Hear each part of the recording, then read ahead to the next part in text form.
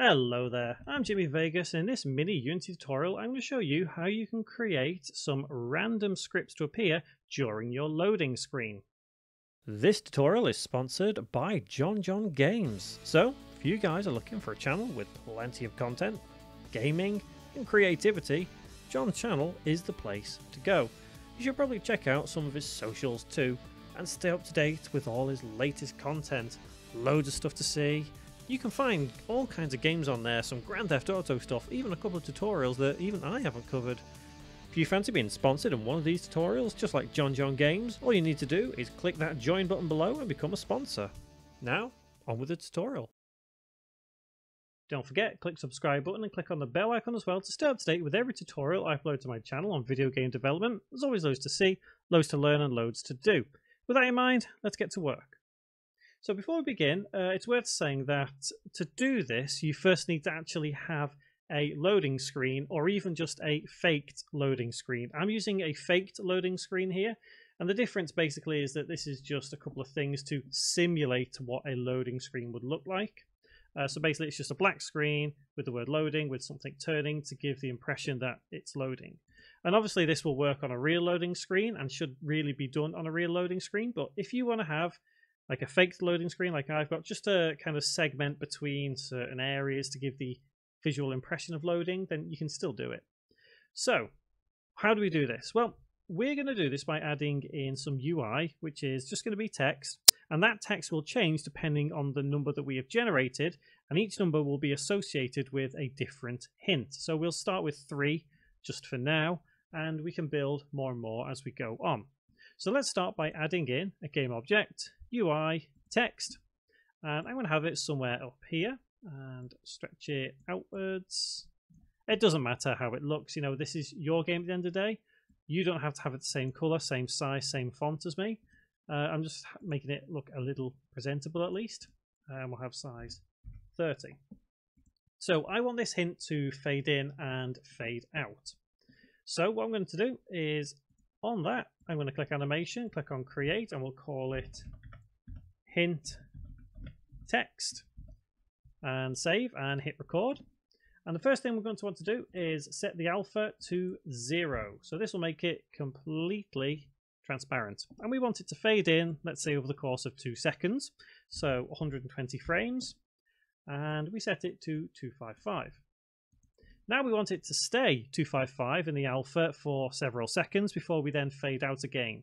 So let's go to frame, let's say 380 and then also set the alpha there as 255 again. So I usually just click somewhere here and then set it back to 255 just so it sets that frame. And then oh, 120 seconds after, so that's frame 500, it fades out once again. Then we can press the record button, click on project, click on the animation, and then untick loop time. So it will look a little something like this. So it's loading.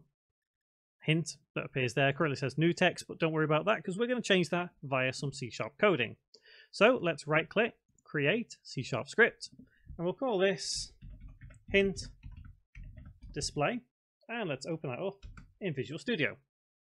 So if you are only going to display one single hint per loading screen, you could theoretically do this inside your start method. If you want to display multiple hints, then you would need to use a coroutine. I'm going to do a coroutine just to show you how you can do it several different ways. So first and foremost, we need to have two variables. The first one is going to be a random number. The second one is going to be that UI that we've just put into our scene. So public int and rand num, obviously short for random number. And the second one, public game object and hint disp. And obviously disp is just short for display. So because we're going to be using text, we also need to add something at the top. So in our namespace, using unity engine.ui. So the next logical step in all of this is to create the coroutine. So let's start by going I enumerator. Remember, it's I enumerator, not I enumerable. And we'll call this hint tracker. Open close bracket, open curly bracket. So what we need to do first thing in the coroutine is to generate a random number, so 1, 2 or 3. So rand num equals random dot range 1 comma 4. Now I did say I was doing 3, but I always say this whenever we do random dot range, uh, it will never generate that maximum number. So in this case, because we're using an integer, uh, we can either generate 1, 2 or 3 because it only ever generates up to that maximum number. It doesn't generate that maximum number. It generates up to. So in this instance, the previous number before it would be 3. If we were using, for example, uh, a decimal number, uh, the number before it, so one decimal place would be 3.9. So it generates up to 4, which would be 3.9. So long story short, it doesn't generate that maximum number. It generates the one below it. So we now need to say if rand num equals 1, then do the following. It is hint disp dot get component text inside spiky brackets oh close bracket dot text equals and then your hint. So always look around for coins or something like that. Again, it's your hint that you're creating here, so it's entirely up to you. Now what we can do is we can take that, go below, and create hint number two, which is going to be red blocks sometimes contain lives. You know, anything, I guess. Uh, obviously, creating an RPG, then this is going to be useful if you're saying there's a sword in a stone somewhere. Legend has it. Blue blocks will add 10 lives. You know, again, it could absolutely be anything. Uh, and then we're going to say um, yield, return new, wait, not wait for end of frame, wait for seconds, and we'll say 10 just for, in fact, I'll say 9 just for now. So there is the way we actually display our different hints. And obviously in the start method, we have to activate that. So we say start co routine and in brackets hint tracker, close bracket, uh, semicolon. So let's get rid of void update and the annotations to tidy this up a little bit. So you can see when this starts, we activate this particular hint tracker. Now, I did say that you could theoretically do it just once by doing all this in the start, and if you do it, this way would be perfect. So let's start by actually saying, uh, yeah, we want to do this. So let's go back to our scene. Let's try this out, and then we'll do it another way where we can have multiple hints. So let's add a new game object and just add the script to that object. And then add our text to the variable and press play. There we go. Legend has it, blue blocks will add 10 lives, and that should fade out in, uh, there we go. Now let's see if it will generate a different hint. Always look around for coins. There we go. So we know it generates a random hint. So let's make it now so as we can have another hint that loads after the one we've just had. And that requires changing it from a start method to an update method and also requires adding in a uh, boolean. So public bool gen hint. Obviously gen is just short for generating and we'll have that by default as false. So if gen hint equals false, then we do the following. So open curly bracket, get rid of the close bracket, but then place it below that start coroutine line. And before that start coroutine line now, inside the if statement, we just say gen hint equals true. And at the very end of our coroutine, we just say gen hint equals false and save. So all we've done is we have done a repeat cycle here to say that once we've displayed this, we wait for nine seconds and then we restart the cycle all over again.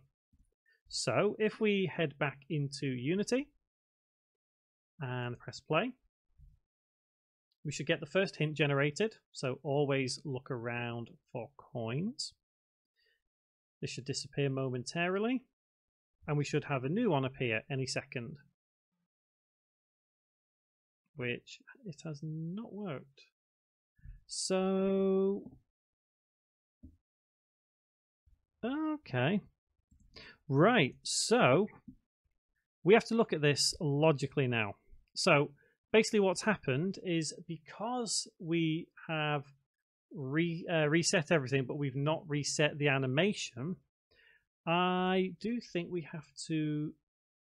In fact, maybe if we turn it off and on again, I wonder if that would work. There's loads of different ways of doing various different things inside Unity. And I always like to try and find cool, creative, different ways.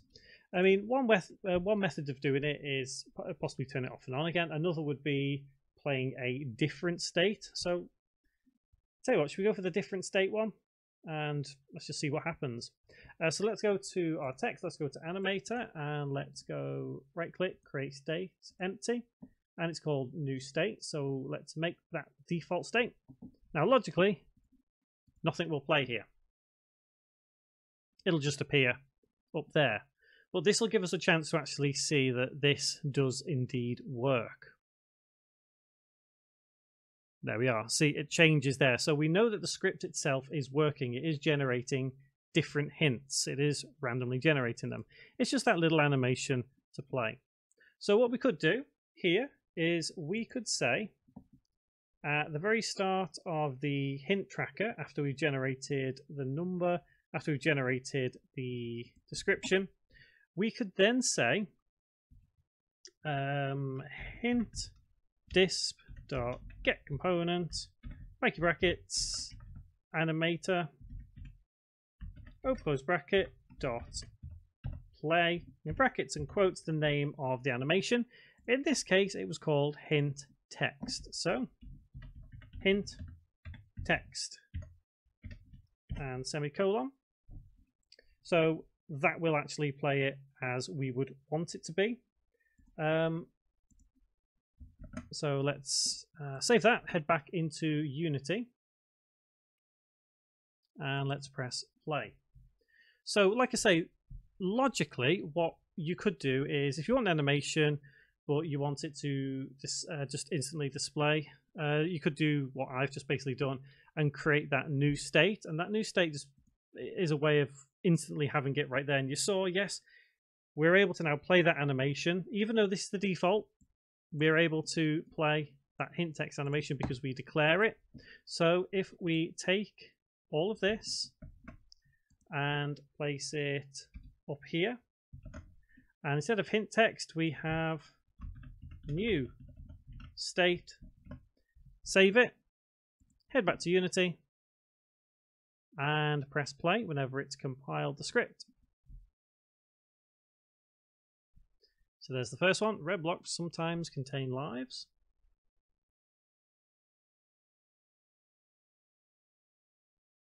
Red blocks sometimes contains lives. Brilliant. So I think it's... There we go. There. So all that basically means is that we just need to click on hint text in fact, no, I'll tell you what we can do. Let's go to text itself and set the default as zero. And if we press play, it gives us a bit of time between each hint now as well. So, like I say, the first hint, always randomized, fades out, we're still loading. Um, so Legend has it, blue blocks will add 10 lives. It's all about the timing of this really, but ultimately you're just loading various different hints at different times. So that is how we can add randomized hints to your loading screen or faked loading screen. They don't always have to fade. It can be a little bit fiddly. If you just want to have a straight up text giving you a hint, you don't need to have the animation. But either way, that is how we do it. So um, hopefully, guys, I will see you in another one of my videos. And thank you very much for watching.